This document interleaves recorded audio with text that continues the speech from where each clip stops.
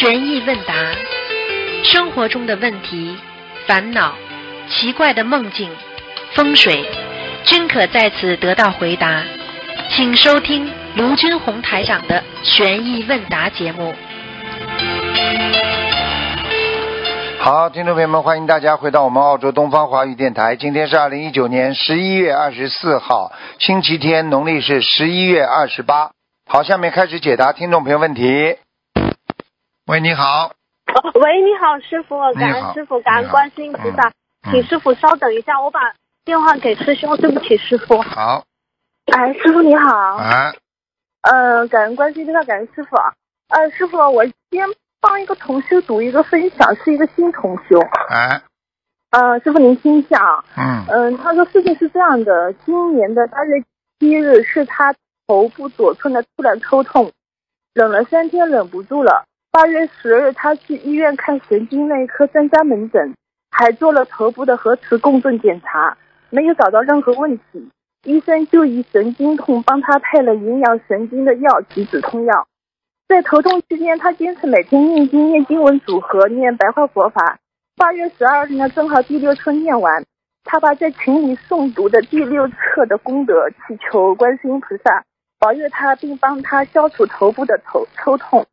当天晚上他就梦见台长了，梦里好像在参加法会，很多人。台长走上台讲话，手上的话筒不响，他就过去拿了话筒给台长。台长左手接话筒，右手放在他的头顶了一下。第二天早上，他问了师兄这梦境是不是台长帮他加持，然后奇迹出现了，头部的抽痛明显减轻。八月十五日，头部发现三粒水痘，又去医院看皮肤科专家，头抽痛的原因终于找到了，是带状疱疹。他就一边服药治疗，一边念经，念小房子，念白话佛法放生。奇迹在继续。八月十七日，在医院遇到一位素不相识的热心人，把他把他带去民间看高手，手指放血。当天晚上又梦见卢台长，他他说台长笑着跟他说：“我再帮你加持一下。”右手又放在他的头顶，还问他开不开心。他说开心。台长说：“你要好好学佛念经。”他说：“好的。”台长又说了：“你明天就好了。”第二天早上醒来，果然他说头头部的抽痛症已经消失，那带着疱疹也消退了，太神奇了！心灵法门的念经、念经文组合、放生、念白话佛法四大法宝真是灵验。感恩那么大慈大悲救护救难广大灵感观世音菩萨摩诃萨，感恩龙天护法，感恩卢台长。让 他一定要好好珍惜，好好念经学佛。师傅师师傅的法身，师傅的法身很厉害，嗯，哇，师傅太厉害了，嗯他很开心，就是他一定是要让我在直播里帮他分享一下，让大家都能受益。他是一位新佛友，也请师傅加持他。啊，嗯，好，叫他好好的坚持。啊，嗯初始心最难，心佛友们开始的时候都激动的不得了，哎呦，感恩师傅，感恩到时间长了就油了呀，明白了吗？嗯嗯，好的好，嗯。嗯，师傅接下来帮同修问几个问题，呃。同修说他梦到，呃，同修梦到另一个同修身上有灵性，然后梦里呢说这个同修还有一个弟弟，灵性呢让他变得很坏，好像有计划性的要害人。因为灵性再生，有段时间呢，他说买了供花供果都不敢供菩萨。梦里还觉得同修有段时间就是走偏了，后来醒悟，同修就一直在忏悔。他请师傅解梦，他说他现实是没有弟弟的。没有弟弟嘛，就是打胎的呀，他妈妈打胎的孩子呀，还找他的呀，嗯，嗯，那师傅这个他需要大概几张小房子啊？像这个像这个一般嘛是二十一张，但是像他这个不行，他至少四十九张以上的，嗯，好的，那那个灵性呢？说他因为有灵性在身，那个灵性需要小房子吗？另外的灵性加起来六十八张吧，六十八张。好的，好。啊那那那全部是写他的要金额是吗？前面可以写他的啊呃啊，他他的哥哥是吧？他没哥哥的呀，嗯，他呃他弟弟，对他没有弟弟，对，哎，就写他的要金者，要金者吧，要金者，嗯，好不要写灵性，写要金者。啊啊，好的，好行，好。你们大家记住啊，不能写灵性的，要写要经者。嗯嗯，好的，好，感恩师傅开始。呃，还有师傅，呃，就是上呃呃上一周就是不是这一周，就上一周联谊会有个同学就是请教师傅关于卖房子的事情，结果他周一就卖掉了，他也非常感恩师傅，感恩菩萨，他很开心。看见吗？我跟你讲过了，啊师傅加持的事情快的不得了。嗯，啊，感恩师傅。然后师傅他现在忘记是说，他刚许愿的第二波卖房子的，就是那个房子的邀请者，他就怎么写？因为说房子已经卖掉了。没关系的，要要念的，要念的。嗯，那还是写他名字房子的邀请者对吗？因为你要记住，房子刚刚卖掉的话，有的时候还会有反悔啊，还会有纠葛啊，也是的。因为你嗯许过的愿，等等于提早兑换了、兑现了，听得懂吗？嗯，听得懂。你不能说因为你拿了信用卡的钱你用了，你就不还了，还是要还的呀。嗯，好，嗯好，感恩师傅开始。还有师傅，呃，这个梦有点长。同修说他梦到带一个女同修，梦里是认识的，去找一位法师出家。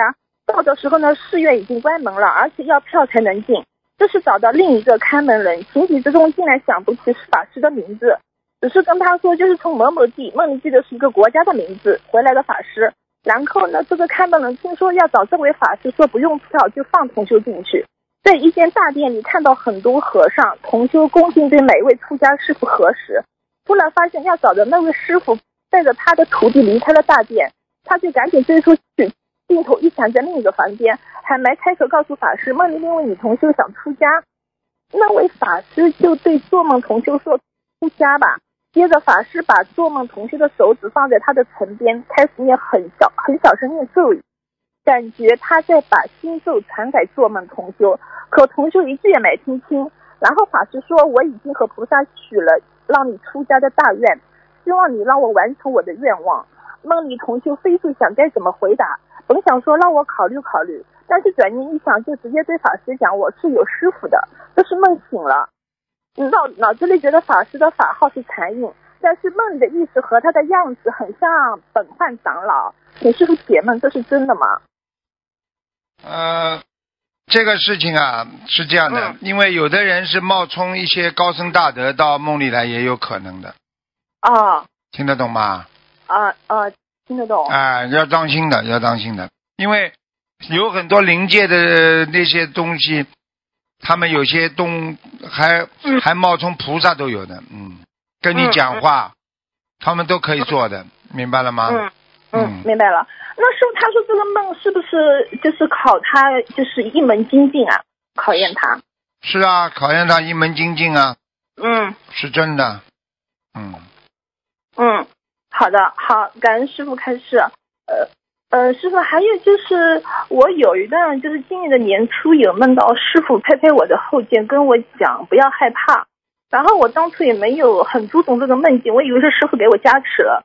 接下来我就三个月内接二连三发生了很多事情。嗯，我想师傅是不是当时你是给我一种提示啊？对呀、叫你不要害怕，就是叫你要勇于克服呀，勇勇于啊勇勇勇拥有那个克服困难的决心呀，啊，我当时也没有让师傅解嘛，我就没当回事。没当回事了，没当回事来了不啦？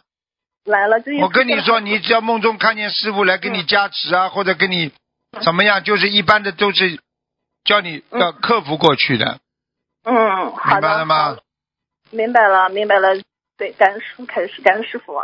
师傅，还有最近我就是因为在申请那个身份嘛，就是在一个月之前呢，我有梦到，就是说我身份下来了。那个人跟我讲，他说是因为你是念经的关系，所以你身份下来了。嗯然后旁边一个人还问他是申请什么样的方式，然后他说因为他是念经的，然后之后那个人说你怎么看出他的身份下来了？嗯然后他说他给了我一份文件，说写在第十二页。嗯然后呢，我记得我的那个护照还换成了英文的。我跟我先生又回到了观音堂，因为当时观音堂在北搬迁，然后呢嗯那个拜垫都没有了，就是很不好的拜垫，我都磕不下去头。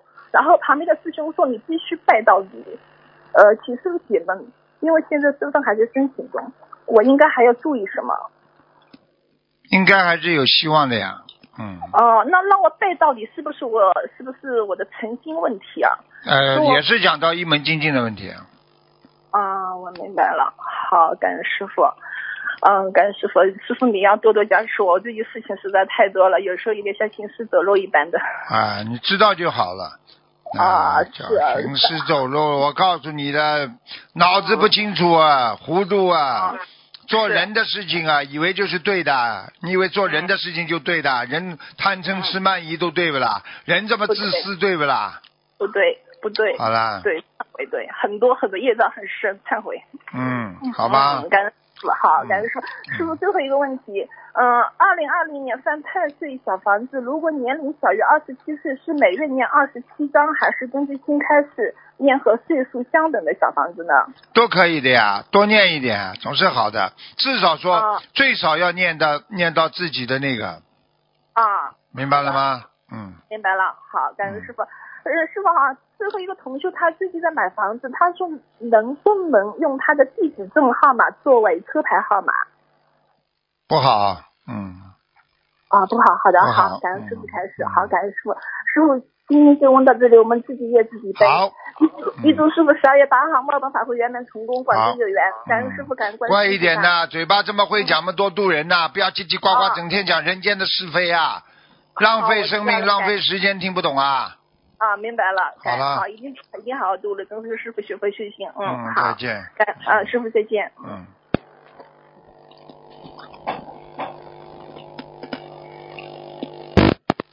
喂，你好，呃，喂，师傅你好，嗯，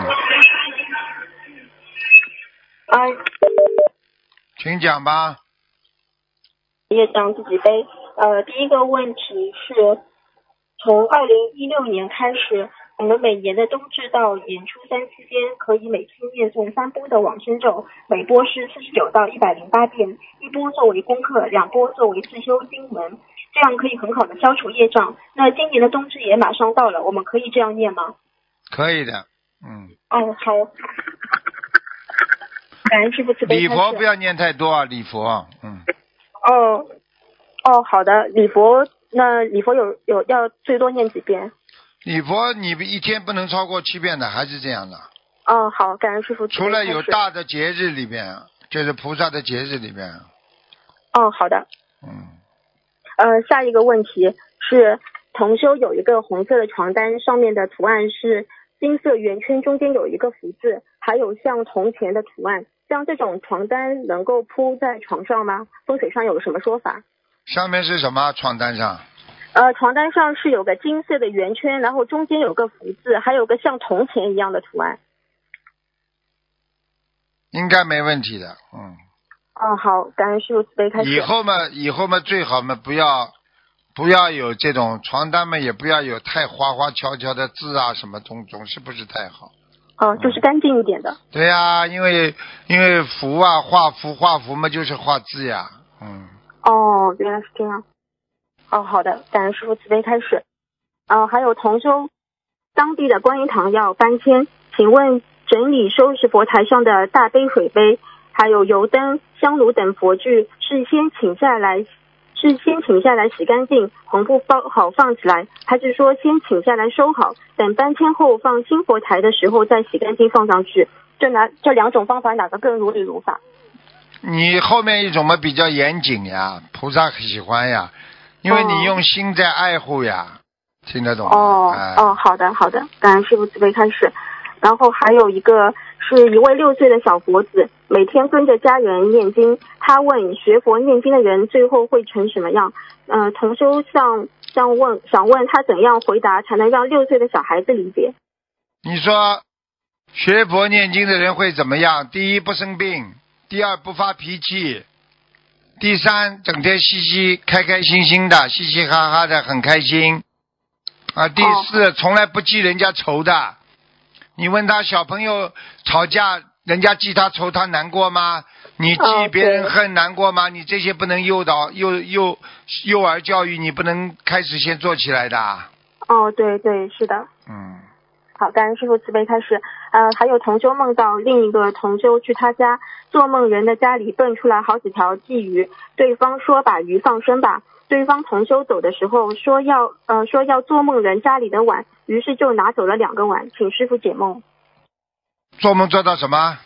呃，就是同有另外一个同修到同修家里去，然后然后他他家里蹦出来好几条鲫鱼，对方就说把鱼放生吧，啊然后然后又做梦，活的是不啦？活的是不啦？呃，梦里是至于是说蹦出来的。啊，那就好的呀，应该有利益的呀。哦，但是他如果他如果经受不严个经受不起考验，把那个碗里边把鱼鲫鱼煮了吃了，他就是梦考不过呀。哦，意念当中如果想把这个鱼煮了吃了，也是梦考不过呀。呃，是的。然后那个就是另外一个同修去他家里嘛，然后这个他家里的碗被拿走了，这个是什么意思呢？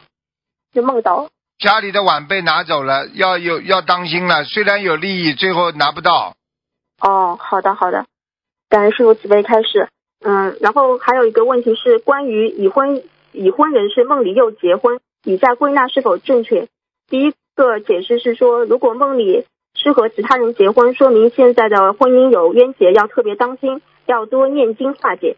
然后第二个解释是说，如果梦里结婚的对象是现在的丈夫或妻子，就说明两人本来要离婚的，现在念经后已经化解了，是这样吗？你就不要讲他们的好了，直接问我们就好了嘛。哦，对，是的。你已经问我了，你还要把他们两个观点讲出来干嘛了？他们讲出来，总归是师傅讲的对的啦。哦，对不起，师傅。叽里呱啦讲了一大堆，我血压都高了，我根本听不懂你讲的他们两个什么意思。你就告诉我这个梦怎么讲啊？就是已婚人士他梦里又结婚了，就是很简单了，已婚人士是活着吧？呃，活着的。活着的已婚人士又结婚了吗？就是有两种，一种嘛，就是他的未来可能会离婚再结婚，哦还有一种就是他过节呀，哦，那是那是什么节呢？就是他两个人感情节呀，本来会离掉的呀。哦啊那，他有他有新的嗯女人的话，再结婚的话，说明他老的女人不要把他赶，就跟他拜拜了呀。哦，好的。那如果梦里和其他人结婚，和还是说和自己的现呃妻子或丈夫又结婚了，这有什么区别吗？听不懂啊？啊，就是就是，如果梦里是和其他人结婚是什么意思？跟其他人结婚嘛，就很简单了，已已经刚才讲了呀，一个不跟他老婆拜拜了呀，以后哦，那那他又梦到，就是又有些人会梦到他的结婚对象是现在的丈夫或妻子，什么叫现代的啦？现在的就是他他又和自己的丈夫或妻子梦里又结婚了。啊，又结婚了，那两个人重归于好呀，这是真的呀。哦，是啊，除非他想离开过他老婆，日有所思，夜有所梦呀。哦，好的好的，感恩师傅慈悲开始。啊、下一个问题是同修梦见在海底开车，海底居然有白白的雪铺在地上，请师傅解梦。这还不懂啊？龙王老爷的地方呀，也有路的呀，当然有路的啦。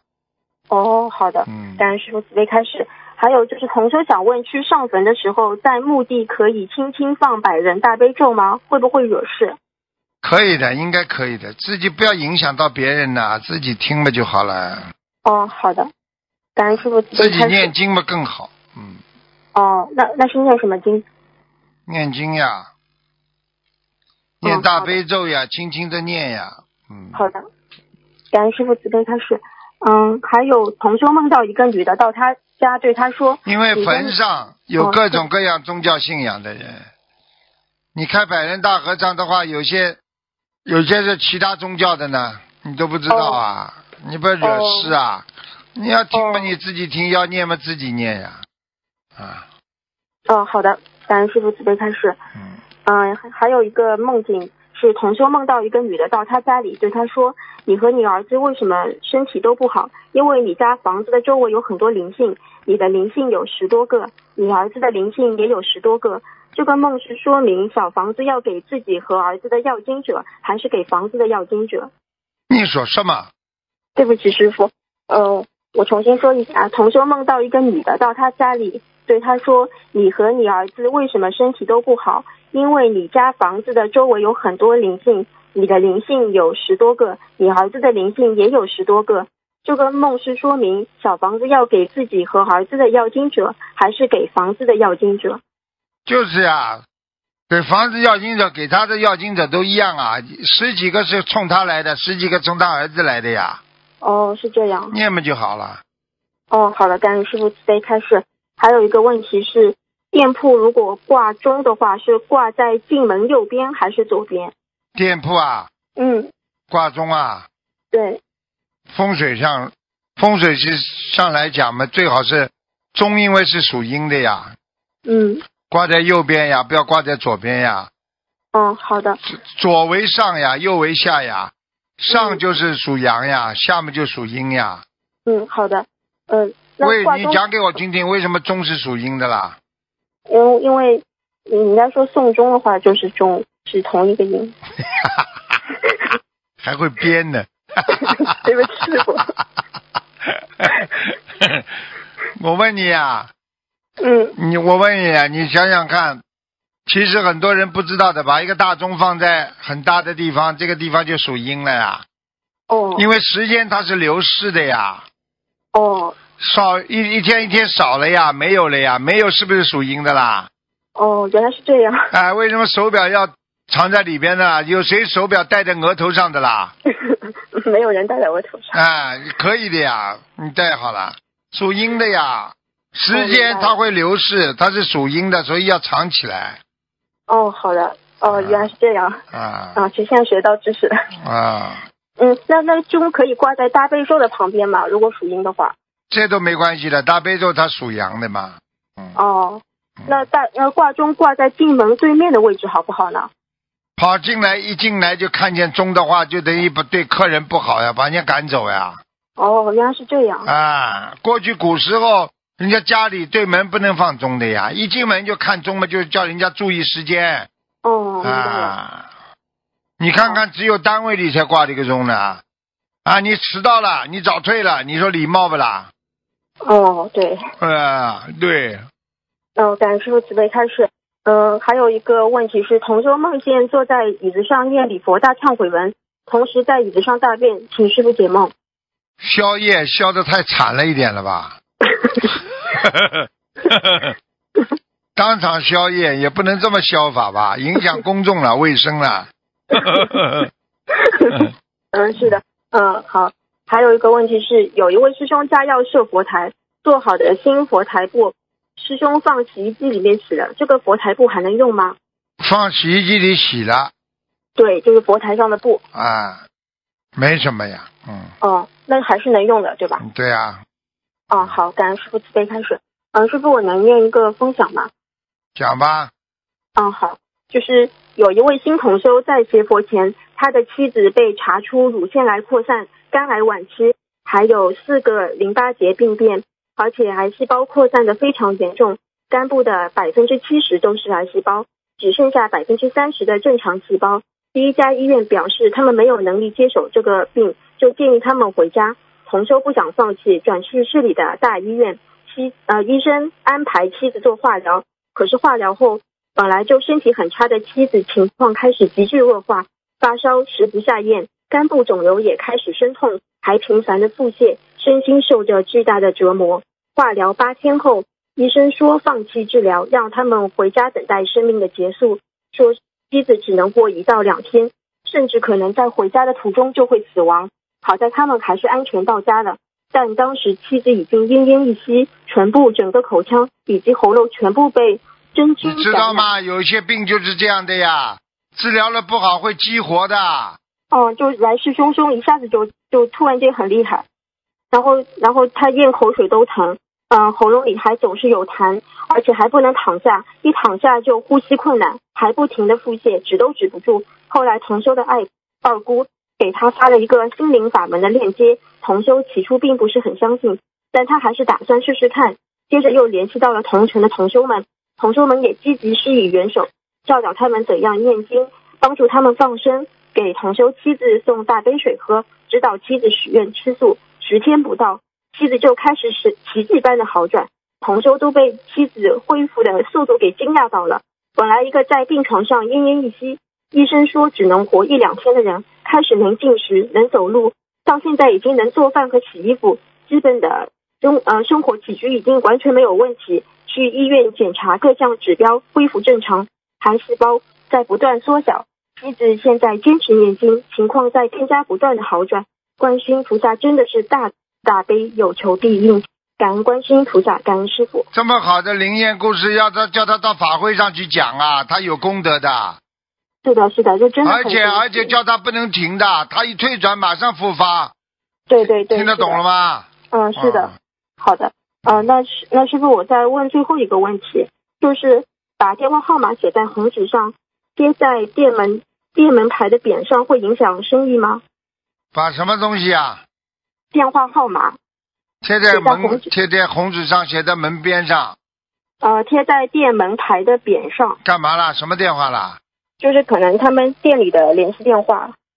啊，那可以的，没关系的。哦，没关系啊。哦，好，感恩师傅慈悲开始。我今天的问题就问到这里。好，再见。啊，请师傅保重身体。我告诉你，这种菩萨救下来的人，你一定要叫他做功德的，要叫他现身说法的，不现身说法复发就麻烦了，守人的。嗯，是的，是的。所以很多上次有一个人就是的，他以为是医生搞错了，后来开始的时候哦自己许愿放生念经，等到好了之后，他说医生搞错了，好了复发了。嗯，是的，就是就是就是同修一定要坚持下去。其实菩萨只是呃给他们一个像担保一样的。对了给你一个担保，把你假设出来的。对你还是要看你直修之后你就好了嘛。你假设没问题就放，真的是释放了呀。嗯，是的，是的。好了，嗯，嗯，感谢师傅再见。，再见。嗯，再见。喂，你好。喂。喂，哦，师傅，师傅，弟子给师傅请安，啊，感恩师傅。呃，那个呃，有几个问题请教师傅，我不知道这个有没有问过你这个嗯电话，你这电话今天有杂音啊，你稍微嘴巴、啊？是吗？嘴巴离远一点，杂音很重。有杂音？现在好了吗？差不多，你我不知道你这电话问题。我到外面去的。不是啊，傻姑娘啊，是电话电流问题啊。你这个电话可能要换了吧？嗯，电话要换了。好的，那我们让他换电话吧。这边好点吗？我们观音堂就屏蔽比较厉害，可能信号就比较杂。嗯嗯，现在好点吗？还是老样子，大还是老样子啊？那那我先问吧，师傅，尽量讲清楚一点。我不知道这个梦，他刚才有没有师兄打进来问过？嗯、就是有个师兄梦见，嗯、另外一个师兄身上有个灵性，这个灵性已经让那个人变得很坏，并且有计划的去害人，啊、有段时间就走偏了。再后来，那个师兄醒悟了，听不就是清楚听不清楚。听不清楚，嗯，这咋办？你待会儿你待会儿再打打看喽。嗯，啊，现在还是听不清是吗？啊，他整个就是咕哇咕哇咕哇很吵的。嗯，嗯，那哎呦，怎么办呢？那个，那我问另外一个，你简单点的，你看师傅，你看能不能听得见？就有一个同修家里有四棵大两米的树，已经死了很久了。他问，已经死了半年了。他问，如果要砍掉的话，还需要念经吗？总归要念的。还是要念是吧？。对，它哦树有根水有源呀，它有虽然死掉树死了，但是根还在呀。哦，那要念多少呀？还是按那个？像现在嘛，你最好嘛一棵树嘛给它念个七章喽。嗯，啊，一棵树念七章。那如果是这样的话，他家里还有个孕妇呢，快生了，那是不是要等等呀？什么东西啊？听不清楚家里有啊？个孕有一个孕妇快要生产了，哎快生孩子了，哎，要等等吗？就是砍那个树木啊。嗯。对呀、要等生好。那当然了，现在先不要动。嗯，哦，明白了，明白，嗯七张小房子，好的。师傅，那待会儿再打，待会儿再打吧，听不清楚。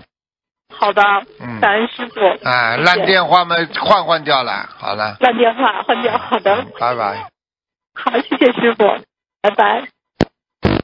喂，你好，喂，师傅啊，哎，你好，啊，师傅你好，弟子给您请安，哎，感恩师傅，感恩菩萨。嗯，哎呦，现在师傅的电话是越来越难打了，现在。对啊，嗯，哎，感恩师傅。呃，今天弟子呢，呃，分享一个同修的分享，请师傅听一下。感恩师傅，嗯，感恩大慈大悲的观世音菩萨妈妈再次分享一下我先生最近经历的生死瞬间。我是来自山东的同修，已经修行两年，吃全素。我的先生上午开车在高速路上并道时被一辆大货车追尾，整个车被撞烂了，车上的两个人都完好无损，真的太神奇了。当时车被撞上后转了好几圈，又撞到了路边的护栏上。交警看了监控录像后，都觉得不可思议，说这种情况人怎么都得重伤，而且如果后面再来一辆车追尾的话，整个后果不堪设想。万幸这一切都没有发生，太感恩了。真的，只要虔诚的许愿、念经、放生，修心修行，菩萨妈妈时刻在我和我家人身边护佑着我们。以上是我先生的真实经历，迫不及待分享给大家。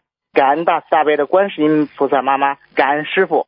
嗯，如分享的如不如理不如法，请龙天护法菩萨原谅，请师傅原谅。像他这种情况嘛，就是菩萨给他挡了呀。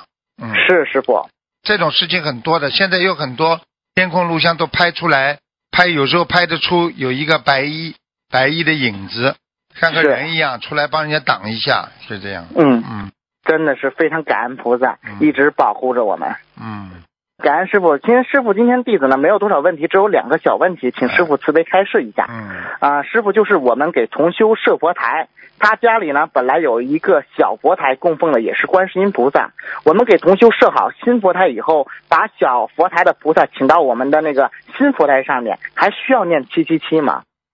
小佛台请到大佛台啊，对，师傅不一定的。嗯，在一个家里就没关系了。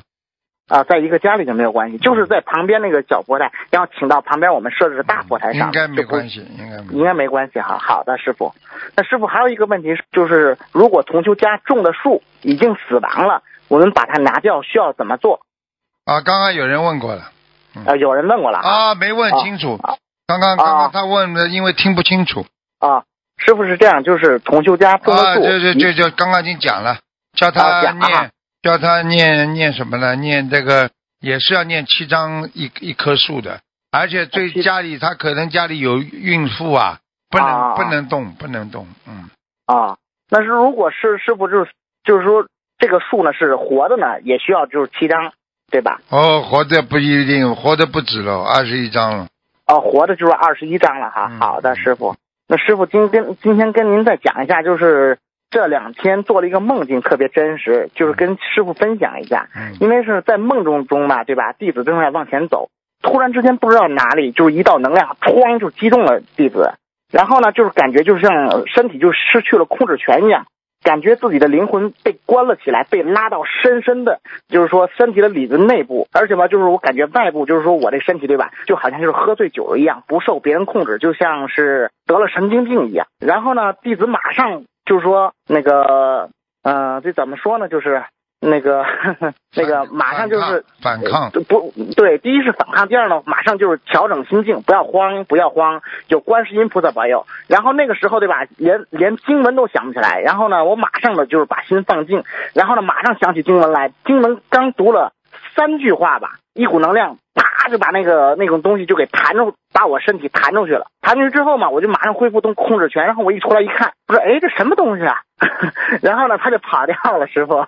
呃，你被灵性轻生了，嗯，是师傅，啊，灵性上你身了，结果被你弹出来了，对对你很。厉害。如果灵性上升，你就是个神经病了，听得懂吗？对对对对，啊听得懂师傅，那感觉特别清楚，就感觉就是师傅帮那些那个看图腾灵性治，就是说那些呃同修治疗一样。啊，对对对对就是那种感觉。其实的本领嘛都知道，但是呢也说不出来，就被控制住了。师傅说你要读多少张小房子给他们，然后呢他们一开心一走掉之后，马上就恢复正常，啊真的是。灵性走掉了嘛就，哎呀，没几个人懂的。我所以我跟你们对说了，你们自己真的很可怜，所以要好好的珍惜师傅啊！我跟你们说，我跟你讲多少年，等到自己碰到了，你才相信师傅啊，多可怜呐！是的，师傅。啊，因为弟子感感受特别清楚，就跟师傅他就是师傅帮他们治病一样，只要灵性一走开，马上身体就会得到自己的控制。对然后呢，就是正常人一样了。哎如果就是说一直灵性在身上的话，就像我刚才就是说那梦中一样，被人控制，想想挣扎都挣扎不出来都。啊，就是这样的呀。现在明白了吗？呃，现在明白了。也嗯感恩师傅，感恩菩萨。现在呢，弟子的太太已经怀孕，明明天呢就是三十五周了。嗯，然后呢，等到师傅法会结束之后呢，就可以正常的那个，就是就孩子可以出生了，对对，生产了，师傅嗯，感恩师傅，请师傅稍等一下。嗯，嗯，师傅你好，你好，嗯，弟子给师傅观世音菩萨请安。嗯，祝师傅下个月法会圆满成功，啊感恩师傅，感啊恩观世音菩萨一直加持我，啊请师傅保重好身体。啊，你自己情绪要保持好。如果你情情绪不好的话呢，孩子以后也会很很闹的，明白吗？OK，明白哎明白。但是你也不能压压抑，太压抑的话，孩子以后也很容易忧郁，听得懂吗？OK，所以要心情要开心，要化解，明白了吗？也好好了，嗯，明白，Thank you，啊，感再恩师见啊傅，，再见啊，感恩师傅，今天弟子没有问题了，感恩师傅慈悲加持，师傅再见，师傅您保好保重好身体。嗯。喂，你好，喂，师傅好。啊，你好，喂，喂，哎，师傅好，弟子给师傅请安。嗯，谢谢，啊，对不起啊，有点紧张。呃，那个弟子有今天各同学各自一辆各自背，不让师傅飞。弟子有几个问题，请让师傅请教。嗯嗯，就是有同学他做那个帖子链接，然后那个帖子里边都是心灵法门的内容，他花了很长时间整理出来的。嗯然后他帖子下面有他的那个个人联系方式，嗯，然后别的同修呢，把他整理的内容复制走了，把下面的联系方式换成自己的，他这种做法可以吗？就是别的同修就换成自己联系方式，等于是别人看这个帖子就是加这个第二个同修要要特别当心，好吧？啊，啊，当心什么呀？当心呢，就是说，因为现在很多人用人家的电话，用人家的信息啊，所以、呃所以不要把私人的电话随便发在上面。嗯，哦，对他们加的一般都是微信号，呃，因为他就是那个第一个整理的师兄，就是就第二个换联系方式的同修，他就想自己把别人整理好的东西自己复制一下就拿走了，这样算不算偷盗啊？不算不算啊，这不算。呃啊，是不是就是说这同修整理完了，越来越多人去看，很多人去转发，包括别人就是复制完了再去转发他整理的内容，这第一个人也是有很大的功德的，对吗？是，嗯，哦，好的，好的，感恩师傅开示。呃，然后另一个问题就是，呃，师傅讲过尊师重道是大愿，那我们拜菩萨时候是不是也可以许愿说今生一定一门精进，呃，尊师重道？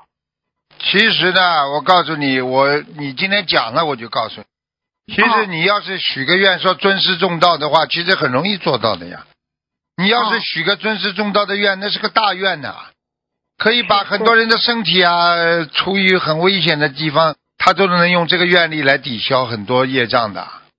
哦，所以很多人都不懂，不会用呀。所以你今天讲了，我就告诉你，哦，嗯，那个之前那在法会上您说过，那个其许愿清修的话呢，可以消百分三分之一的业障。啊那这个许愿尊师重道的话，有没有一个大概的概念哦，也差不多，差不多，比他还大呢，嗯。哇，因为你要知道尊师重道的话，你想想看，我举个简单例子，你尊重你的老师，你是不是学习就学得更好啊？是的，是的，你如果你今天学佛，你跟着师傅，你连师傅都不承认，你说你这个佛法白学了吧？对，你说你说这个能量大不大？你告诉我，大的非常大。就是等于比方说，你举个简单例子，我今天皈依观世音菩萨学佛，你说你尊重观世音菩萨，尊师重道，你说这个功德大不大？大的，好啦，还不懂啊？嗯如果你不跟着观世音菩萨学佛，你是不是已经退转了？是不是已经自己已经懈怠了？那你说你还有什么功德啦？什么功德都没了，变成福德了。哦，现在知道尊师重道为什么这么重要？现在很多人不尊师重道，不管哪里都是这样的，吃大亏的。很多人都出大事了，知道吗？哦，就是因为尊师重道做的不够。你说呢？是的，我就举个简单例子，你爸爸妈妈把你养出来，你妈妈从小含辛茹苦的把你养大，你说你不尊重自己的母亲，不尊重自己的爸爸，不尊重自己的妈妈，你是不是也是不尊师重道一样啊？啊，是的，是的你，不遵守孝道，没有孝道的话，跟跟尊师重道一样的概念，但是尊师重道更比孝道还要厉害，明白了吗？所以所以很多人不懂哎，你要是实在没愿选选许的话，你还是跟着师傅，很尊重师傅的话，你这个愿力就会给消掉你很多业障的。好的，好的。那如果我们许愿尊师重道的话，就生活中要注意什么呢？那第一呢，不能怀疑师傅啊，对师傅要尊敬啊，哦师傅讲的东西先好好学呀、嗯，理解的先要自己也很开心啊，不理解的也要好好的慢慢研究啊，是不是？嗯是不是讲的对呀、你至少比方说举个简单例子，我们小时候读书，老师讲的东西你要听不啦？要要的。啊，老师跟你上课，你什么都怀疑呀、你说这个同学还学得好不啦？还上得了好好课不啦？学不好，学不好好啦，明白了吗？明白。那个，比如说有一次，就是在呃有一次看到那个您第初三弟子开示，然后下边有师兄他坐着时候就坐姿坐姿啊，他就双手交叉在胸前，当时看觉挺别扭的。他像这种，他就是如果他是弟子的话，是不是也属于他不尊师重道了？对了，如果他有意的，那就是不尊师重道；如果他无意的，那么他要好好教育他。如果教育过之后又忘了，那就是不尊师重道了。哦哦，对，那我我看到那个东方台师兄啊，只要师傅就是一一一过来，然后呢，东方台师兄都是鞠躬鞠到九十度，非常非常的虔诚，就看到他们在在尊师重道上做的非是我们对呀。你过去你想想看，过去过去学堂里边的小同学看见老师过来了，也是这么鞠躬的呀，尊重呀。对你说对对人家鞠躬的话，老师是不是教你更多东西呀？是是，你不要说老师了，你就是到到饭馆里面去，你冲服务员客气一点，服务员给你点的东西也好一点，你或者冲厨师好一点，你冲你老婆鞠鞠躬，你老婆说不定帮你烧的菜都更好吃啊，这不对呀？对对对，明白。您好的。不要磕头就是了，一磕头嘛，人家就帮你背了呀。哦，好的好的。那个呃，刚才还有一个问题，就是说，如果比如同修修的很好，让师傅很开心、很欣慰，那是不是同修他就这这个就有功德了？哦如果说同修，哟大量的加持哦。如果师傅对这个孩子特别满意的话，啊，你想想看，这个不是尊尊师重道问题了，这是这是法喜充满的，让师傅法喜充满的孩子，你说看能不加持吧？你告诉我呀。啊，是的，是的。啊，嗯，好的。那同样就是说，如果说有时候您可能这孩子不听话，您训斥他，然后呢他不接受，然后或者是让他做一些事情让您很不开心，他这个就会有业障，对吗？你说呢？如果一个老师跟一个同学说叫他好好的，他就不好好的，你说这个孩子有没有缺点呢？有没有业障啊？有有。好了，嗯，好的好的。那个刚才您提到就是夫妻之间，比如跟夫妻鞠躬什么的，就这个其实就讲那个夫妻相敬如宾。嗯、是不是用不着鞠躬，用不着鞠躬。过去古时候是鞠躬的，现在呢相敬如宾就好了。你尊重他，他给你做一件事情，你一定要谢谢。啊啊，就是不管谁跟我做件什么事情，师傅都要谢谢的呀。啊，对，啊，你就总是要尊重别人，心中要有这个感恩心。对呀、你几岁啊？三岁啊？只有 对不起。这么大的人呢，提出来这些问题都是幼儿园的问题，从小就应该懂的问题呀、哦，好的，明白明白，好的，哎感恩师傅。嗯那个接下来有一个那个人是好像是您的法身开示，请您呃验证一下。然后这个事情呢是有个前提，就是某个共修组的有位同修，共修组的师兄花了很多精力培养他，让他从初学者到弘法精英。他本来是专职弘法，他经济困难的时候呢，共共修组师兄还会给予他帮助。最近他突然改变心意，恋爱了，准备结婚。一旦他结婚生子，大半精力都会在家庭和事业上，弘法精力肯定会减少很多。然后共修组的一位呃 A 师兄对他的选择非常难过，感觉很遗憾。然后 A 师兄接到了好像是师傅的您的法身开示，然后呢开始如下：对于一个不开悟的人，会想两者皆拥有，怎么可能？你告诉我，必须要取舍。学佛学法为了什么？你告诉我，为了超脱六道，而你明白，你却做不到。那没办法，人间的事情也得做，佛法的事物也想管，不可能的。现在他没有这个福气。有些人的确可以兼顾两样一起，但是那也是人家前世积福积德的福报，一般人是不会有这个福气的。你去看好了，他如果选择了婚姻和家庭，就面临着烦恼接踵而来，不是那么简单的。处理佛法上的事物可以井井有条，处理家庭就会全是烦恼了。没办法的，谁让你出生在人间呢？法师也是人，人家有境界，人家为了超脱而牺牲自己的小家去融入大家，这就是法师，这就是境界。人生面临着很多选择，有的人选对了就一步登天，有的人选错了就遗臭万年。人生就是轮回，转来转去出不去，就是一个漩涡，能够走出来的人少之又少。所以，为什么师傅说修佛者千千万，成佛者一两个呢？不是所有人闻到佛法修了就一定成菩萨成佛的，都是命，都是自己的觉悟，自己悟性不好，自己悟自己悟性不高，来历又不好，今生闻到佛法，本应该珍惜，而不应该为了儿女私情而放弃佛法。放弃的不是佛法，而是自己的慧命。不光你觉得可怜可惜，和菩萨佛菩萨何尝不是如此？用心培养的弘法精英，最后却因因为感情的因果而选择另外一条路，菩萨也觉得很可惜了。他本人不会觉得有什么，会觉得自己还是继续学佛，以后也是要渡人设佛台的，自己本身没有什么变化。为什么大家对他的选择这样忧心忡忡呢？劝也没有用了，心都不在这儿了，已经想到美好的未来了，说再多有什么用呢？还不如组织好自己的团队，重新培养新人，好好弘法度人就好了。不要难过，一切随缘，心里平静一点，没有什么的。不是还有弟子背叛师傅吗？师傅也是心里难过，不过难过难过就过去了，就没有了。每个人有每个人的选择，我们不能干涉人家，人家学佛也好，不学佛也好，我们都是随喜你，赞叹你，心中无私天地宽，没什么，又不是生离死别见不到了，有什么大惊小怪的？修成菩萨没那么简单的，你以为你学佛了，你是弟子了，你就能修成了吗？弘法的路是艰辛的，是不容易的。学佛的人多了，有一点困难磨难就退缩的人数不胜数。你都能救吗？你都去可怜他们，带着他们吗？你有这个能力吗？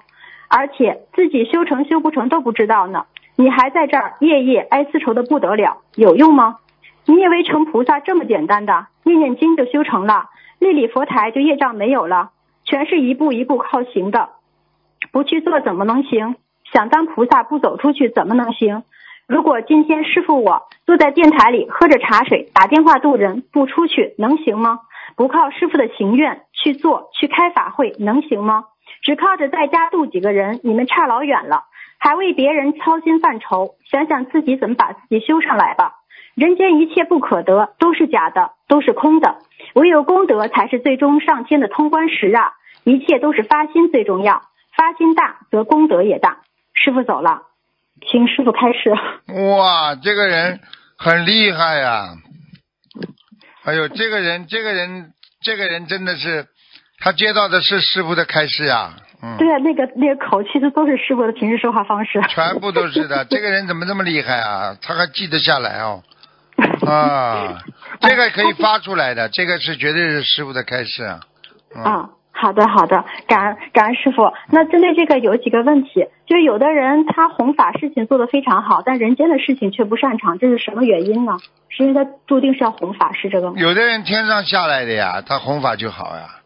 啊，有的人是投人六道轮回上来的，他就算闻到佛法，只是前世多少世当中曾经有过佛法的这种理念呐，或者怎么样啊。哦，那是不是说，比如他是人道来的，他可能之前也在人道，因为经历的人道，对人道的事情比较顺手，所以就是在轮回中他做人道的事情很擅长。对呀，对呀。哦，那如果有的人天上天上下来的，本身应该福报是很大的，为什么就人间的事情感觉就做不好呢？就比如工作也不顺利呀。很简单了，他天上下来，你当然在人间不顺利了。你想想看，天上多顺呐！想干嘛就干嘛，你跑到人间来，你到这个环境不一样了呀。对。你比方说，你举个简单例子，你一个小孩子生出来这么可爱，这么天真，这么纯洁，想说什么就说什么。你说这慢慢长大到社会上，你说你想说什么就能说什么吗？不可以。被人家打都打死了。是。听懂吗？啊，明白。被人家排挤都排挤死了，嗯。好的，好的，好，感恩师傅。呃，那像比如像那个想结婚的同修，那是他的缘分，他的选择。但对于想一世修成出六道的人来说，最终还是要不断的，是不是要还要舍呀？舍掉很多东西，就是。想想看嘛，就知道了。想想看了，你是时间，你今天我们我们放下好吧，把人再放低一档好吧。嗯。好吧，讲的不好听一点。狗啊，猪啊，这一类羊了，你你投了一头羊，你是不是一定要生羊仔啦？是。那你，那你你你你今天是人，你一定要生人的呀，对不对啊？嗯。对。那你苦，那那你如果今天是菩萨的境界，你会会生不啦？哦，对，不会了。你说一个好好的一个女孩子，你看看就是弄了个肚子这么大，你看看，哎，不讲了，这种这种不能讲。明白，明白，好的，就是我明白要一学那那那那你们为什么学学学法师了？我不知道呀。那么，那么，那么，嗯这么多的，这么多的庙里边，那那么法师为什么叫叫要要出家了？我也搞不懂了。你们你们来给我解释解释呀。因为他们是为了成佛，所以放弃了人间的事情，放弃人间小爱，人间的那么他们。他们对不对啦？对的，他们好不他们这样好不好啦？好，对于成佛来说那么。我们人应该学好还是学学不好啦？学好的，啊，往那么就。学咯，就这样。对 很简单咯。呃，你说做好事累不累啦？帮助别人累不累啦？被人家骂呀。那么你要不要做好事啦？要继续做，哎，好了，你被人家骂了，你就不做好事啦，对不对啊继续？要做。嗯啊，嗯，有一个有一个法师救了一只蝎子，那只蝎子扎了他手一口，嗯结果扎得他肿起来了。人家就说了，蝎子你去救他干嘛啦？不是你管管你什么事？你救他干嘛啦？你你看他最后他还是咬你，你法师怎么讲的？对不对啊？蝎子的本质它是喜欢咬人，嗯对不对啊？但是我们学佛人的本质是慈悲，我们不能因为蝎子的咬人不好来改变我们的慈悲的本性啊！对，是的，好了，啊，就其实这个也回到那个如如不动，就是我们的初心不、改。你老你老公你你你在学佛，你老公没学佛，你老公他妈天天骂你打你，那那你不能因为他做的不好事情，你也天天骂他打他。嗯，对，不可以对。啊，就是因为我们是学佛人呐、我们不能打人家，人家污蔑诽谤师傅，你看师傅回人家不啦？有什么好回的啦？嗯，对不对啊？你是菩萨，你就不要去回人家，你是自己学佛人，他不是啊，他要骂人打人的，他是什么素质，你知道吗？就好了嘛。对啊，对啊，这师傅您的涵养非常好。没有，好好向你们学习呢，都是跟你们学来的。对啊，我们跟师傅学，感恩师傅，师傅辛苦了。嗯、那个像比如说在人间有一些慈善的富豪啊，他们做了很多，他给给世人做了很多舍的表法，就在尤其在钱财上，他等于是引导很多人去信佛入佛门。但是他们中很少有人可以像师傅您一样，您做慈善也能深入佛理，让信佛的人就是能够进一步去学佛修佛。那他们像这种不能深入的原因是什么呢？我问你，有几个人能够成观世音菩萨，能够成成菩萨的啦？有几个人能修上去的啦？嗯你你就问问，同样一个班级里三十个学生都在一个老师上课，为什么有的同学读书好，有的同学读书不好？你去问问老师呀。一个用功呀，一个不用功啊，一个开悟呀，一个不开悟呀。哦，对对，一个人家拥有慈悲心呀，一个不肯不肯把自己慈悲心拿出来呀。哦哦。好啦，对，听不懂啊明白，明白了，明白了。嗯，好的。那像做慈善的话，是不是等于是在做入世功德？他入世功德是不是最后就成了福报呢？他如果不好好的把它上升到菩萨的境界，那么就是入就是就是入世功德呀。哦，好的。那就是如果在修行中，比如说因为生病或者有什么事情去求，然后而去放生念经做功德，那这种他也他算是入世功德吗？他的功德用掉了呀。他比方说他生病，或者他家里爸爸妈妈生病，他做了很多功德，是功德呀，功德没用掉了呀，用掉没了呀，哦用掉没有嘛？就功德用掉人间那么，就变成福德了呀。哦，还有一些找钱嘛，就是福德呀。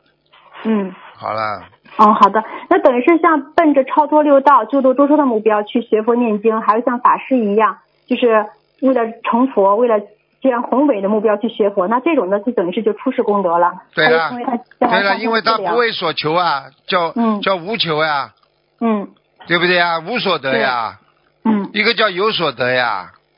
哦无所得的意思就是你不要想去为某某一个目标去做很多事情，嗯，对不对啊对，好的，对，有一期节目好像说，就是有人梦见一一艘法船上有七十多个人，后来您说可能是有七十多个人能修成，但是在更早期的有一期节目是说300多梦见有三对三百多个人大入莲花，就说那七十多个人是不是针对某个地区的，并不是全世界的？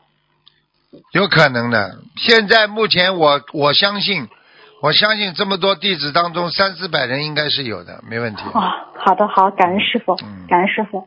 呃，嗯，那个现在还有一个就心理法门的很多有很多年轻的同修，他一种人呢，他是自力更生，一边工作一边弘法；还有一个人，他就是很少，几乎几乎不工作，靠着家里资助，他把这省节省下来时间全部用来弘法。对于第二种呢，就是有有不同的看法，有的人觉得可能会不会不够独立，给家人造成负担，而且人生无常，万一家人会离婚或者家人早逝，那就这个不上班的人可能人家已经有福气了，哦人家越念经，家里就不会出现这种情况。去讲人家这种人，天天在倒霉当中呢。哦他已经在倒霉当中了，他天天去怀疑人家家里以后出事怎么办？这种人就是没有福气的人，听得懂了吗？明白，他就把有好福气的人已经在福气中了，啊。明白了吗？好的，明白了，明白了。啊呃，嗯，那那个就是说，还有一个就是您讲，唯有功德才是最终上天的通关石，功德很重要。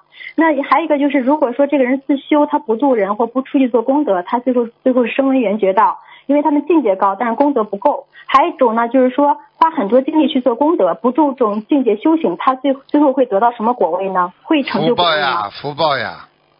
啊，他如果没境界的话，他怎么上去啦？你就要靠慈善家，下辈子么再投个更大的钱的慈善家呀？有钱人啊，有什么哦用啦？哦，没用的呀，嗯，那是不是有可能也会上天？但是就还在六道之内，遇见天啊，四绝对会上天的呀。啊。这种人，你看看现在在社会上很多人做善事，做到后来嘛，做到后来嘛，就是说上天，上天肯定上去啊，就没出六道有什么用啦？白修了不就啊？嗯，对，是，啊到时候还会下来的。啊，嗯，呃，那还有一个情况就是说，他花很多精力做功德，因为他不注重修行，会不会导致就是有时候可能烦恼了呀，看见什么事情不顺眼，导致他的功德漏了？漏了更厉害了。哦，我告诉你，不修行的人看谁都讨厌的，就算你自己做了功德，你还是讨厌别人的。嗯，听不懂啊？明白明白。这个世界上，我告诉你，没有境界的人一天都活不下去的，看谁谁讨厌对，看是什么事儿顺不顺眼？啊，什么事都不顺眼的，对不对啊？最后看见最最后喝得醉醺醺的，照着镜子的时候说：“这里面谁呀、这么讨厌呢、看看着我干嘛？对，好的，明白了。啊感恩师傅。呃，那像现在在工做功德那个做功德时候，我们有两种情况，一个就是他注重量，比如说啊、发单子要多发，建群了呢，就是谁就是多这群里边人一定要越来越多。还有一种呢是注重质，就是说发单子我对这个人感兴趣，我跟他讲，我宁愿少发点，我花点精力跟这个人专注于这个人身上，跟他多讲点，让他能够更好的了解法门。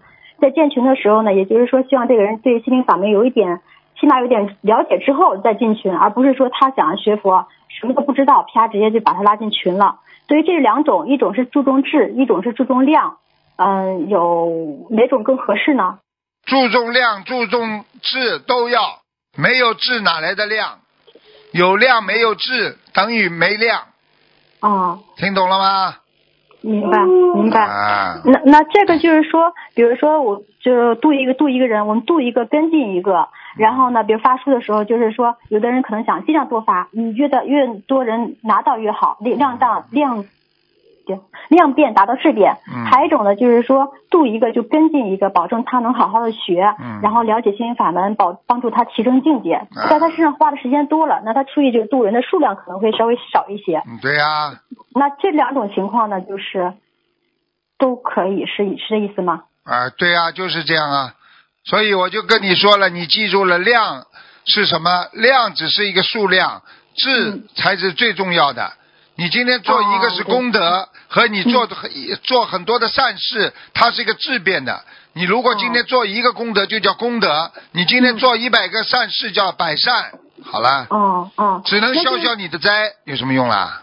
哦，那您说这个注重智是不是还有一个情况，就是说我们在注重智，就跟这个人用心的去讲，帮助他提升境界。最后如果说他真的就是修得非常好，一门精进，然后又出六道了，等于度了一个人成佛，所以这个功德也很大，所以一定要注重这个智，是这意思？对对对对，哦，我问你啊，举个简单例子，你这个人拼命做好事，啊，那是你的量，但是你的本质不好，那你的质，那你做的好事就质量就很差很多，你这本质里面不是善良，只是一个嗯善事，听得懂了吗？嗯嗯如果你这个人从本质里做做做的好事，做的善事出来的话，因为你是菩萨，你做出来全是功德，是为众生的，明白了吗？明白。好明白，好的。那这里就成佛，我们说度一个人成佛，这个说他是真是成就佛的果位，还是说他是只是出六道就能算成佛呢？成佛们要看的呀，你你学佛学的学的好的话，也叫成佛呀。